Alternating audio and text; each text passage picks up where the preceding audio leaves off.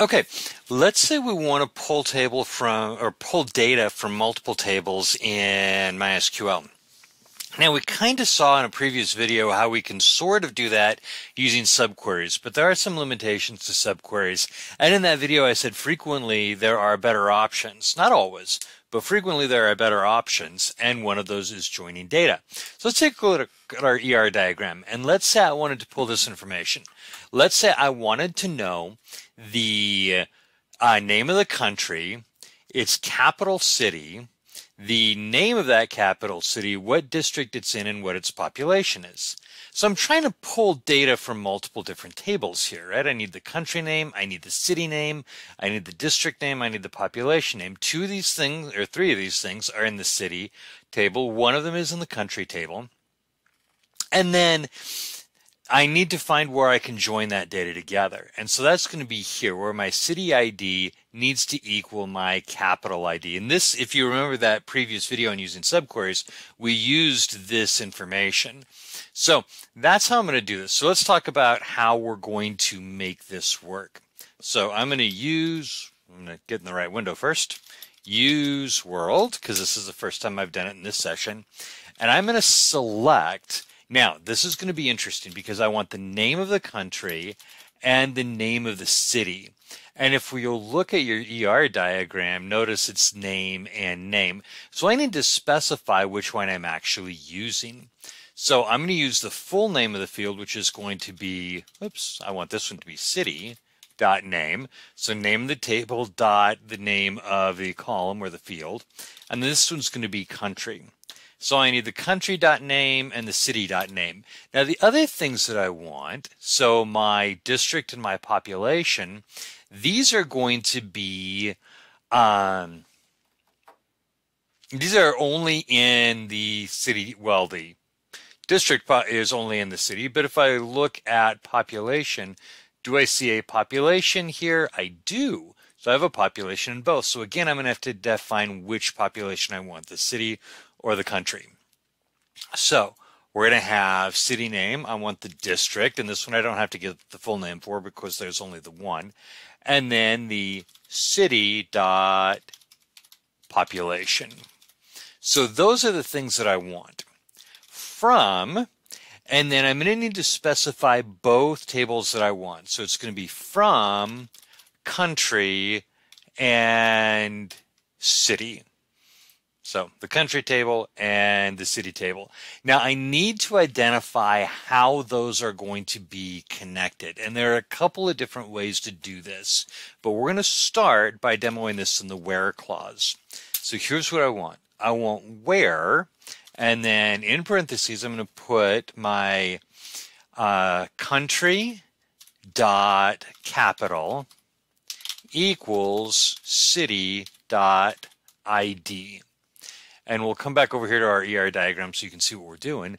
It's the country dot capital right here has to match the city dot ID, which is going to be the ID of the city. So this should pull for every country in my database. So let's see if it works.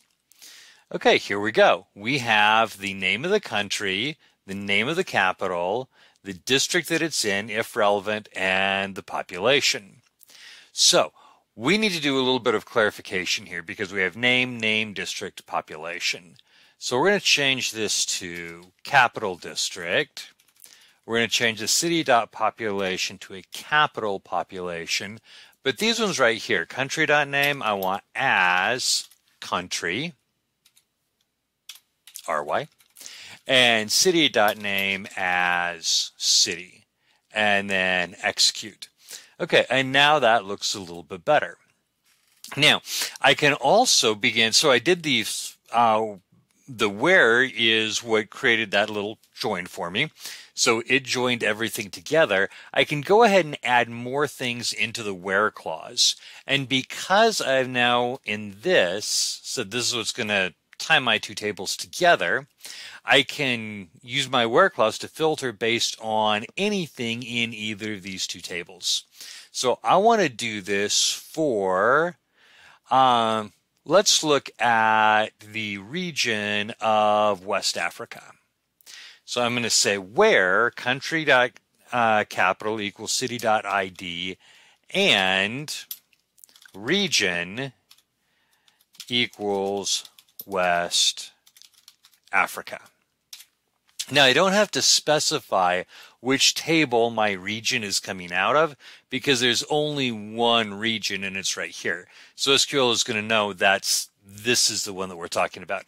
The only time we have to specify the full name, the table name dot column or field name is when we have things that have the same name like name, name, population, population. So let's execute this again. And hey, we didn't find anything for that. So let's real quick, I'm going to see if I can find what my issue is. So I'm just going to include right here my region and execute. And I'm going to find Western Africa. I did West Africa. That was the problem. And region equals Western Africa. And now let's execute. And there we go. And I can kill my region off of here if I don't want to see it. And there is our final query. So we have the country, the city. I'm going to change this to capital. That's going to be better. So the country, the capital, the district, and the population of that capital. Capital. Okay, so that was a quick example of how we can tie a couple of tables together. Let's take a look at another one. I'm going to create a new thing here and back to my ER diagram. And what I want to do is I want to look at every country and we'll filter it down by region a little bit later on. But I want to look at every country that has, oh, let's choose Actually, you know what? Let's not filter. Let's just look at the cap or the country and the official language. And then we'll filter it down to Southeast Asia or something like that. So here's what I want to do. I've always done the, already done the use world. So I'm going to select name. And if we look at this, I want the name of the country. And so if I'm tying these two together, they're going to connect based on code and country code. So that's going to be our relationship. So I want the name from the country, and I don't have to specify which uh, table that's coming out of because I don't have over here anything named name. So I'm going to select name, and then I want the language, and we're going to pull that from here.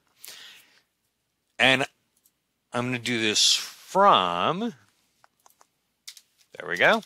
From country and country language where, and this is where I'm going to do my join again, so in parentheses, it's country dot code equals country language dot, and if we look at our EI diagram, we're going to see it's going to be country code is going to relate to code over here. So country language dot country code and is official equals true. Okay, let's see if it works.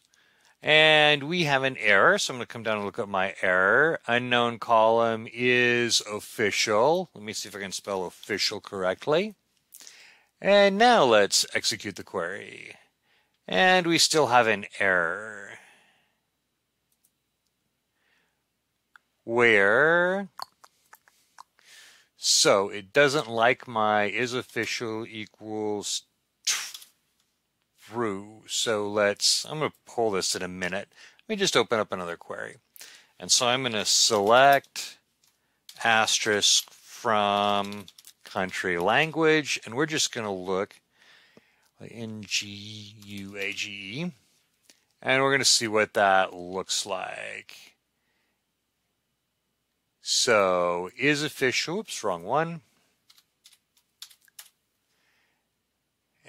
And let's execute the query. There we go. Okay, I wanted my capital T there because it's a Boolean field. It didn't like my lowercase t because of that. Okay, so here we have the name and the language. Now again, I want to rename this. Select name as country. Select language as official. Let's do an underscore language. And there we go. Now we're pulling data from the two separate tables, right? We're pulling data from, we're pulling this value from here, this value from here, and we're filtering on this value from here. Let's go ahead and do this for Southeast Asia. And knowing my luck, I'm going to type it incorrectly, but we're going to go for it anyway.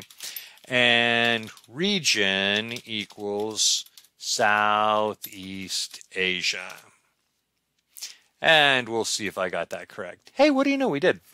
Okay, so here we go. All of our countries in Southeast Asia with their official language. And then I can go ahead and use the other things that we've used before. So I went to order by name. And that'll sort us by our name there. So the order by, and then with adjoins, we can go ahead and do grouping and things like that as well. But this video hopefully gave you an idea of how we can join two tables together using just that where clause. Uh, and by putting that equals in parentheses, it knows that that's how it should connect the two tables together. So using this, hopefully now you can join tables together and pull information you want from multiple different tables.